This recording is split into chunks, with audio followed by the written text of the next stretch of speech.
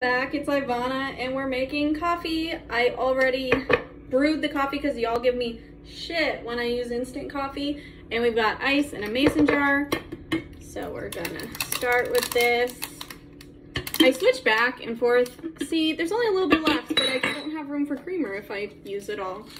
Um i'm gonna use stevia today. Maybe i'll use three because this is quite a lot of coffee i switch back and forth from like sugar to stevia because I'm like, low key, I feel like artificial sweeteners give you cancer. It's not like low key, they do give you cancer.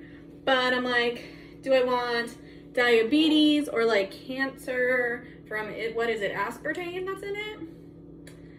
You know, so I just like go back and forth, take my risks for both, you know? But I don't know why I'm worried about the sugar when I'm about to put this white chocolate in it. Um, I'm just gonna put a little bit of it as I put like too much. I recently read a post and it was about how when you follow someone, you're signing up to hear their opinion, whereas they're not signing up to hear your opinion. And I thought that was like the truest statement that I have ever heard. Oh, this is Cinnamon Toast Crunch Creamer, which if you have not tried, you are missing out.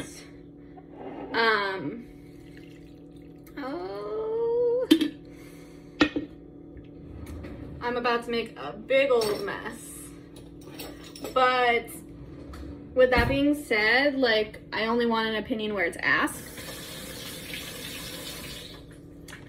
And really it's just because all my followers lately, TikTok's doing me so dirty. And I'm getting like all children and like Karens. Why? like I have to take a sip so I can put the last drop of coffee in here. Mm. It's just like not mixed. So I got chunks of stevia. But yeah, so that's my coffee. Making a big old mess. This is like my third coffee of the day, so.